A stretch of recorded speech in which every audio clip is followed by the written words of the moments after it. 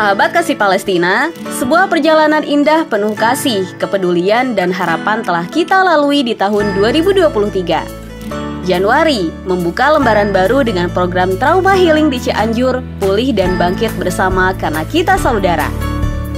Februari, Kasih Palestina telah berhasil meluluskan 93 hafiz dan hafizoh dalam wisuda tahfiz di Masjid Istiqlal Indonesia di Gaza. Maret, Kasih Palestina hadir di Turki Selatan dengan bantuan untuk korban dampak gempa melalui keranjang makanan, kesehatan, kebersihan, pelengkapan bayi, dan bantuan lainnya. April, program buka bersama di Al-Aqsa, Masjid Istiqlal Indonesia, dan tempat-tempat lainnya menyatukan kita dalam kebersamaan. Mei, posko Istiqlal pertama dengan penyaluran buah segar untuk keluarga Palestina. Juni, program bantuan bibit pemberian pupuk yang disalurkan untuk petani keluarga Palestina. Juli, Posko Istiqlal kembali hadir dengan penyaluran baju baru untuk anak-anak yatim Palestina. Program ini ingin menghangatkan mereka dengan kehangatan kasih dari sahabat kasih Palestina.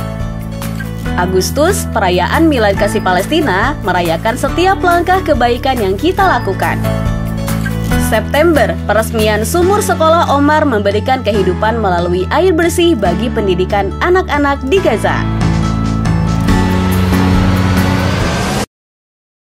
Oktober, Gaza mengalami penyerangan bertubi-tubi tahap demi tahap Kasih Palestina menyalurkan peralatan medis, sembako, dan bantuan lainnya.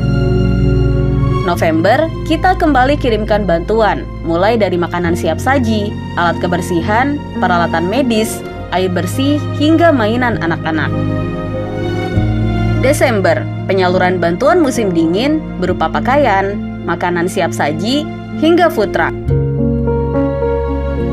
Terima kasih sahabat kasih Palestina, karena bersama kita telah mengubah banyak kehidupan, menguatkan mereka.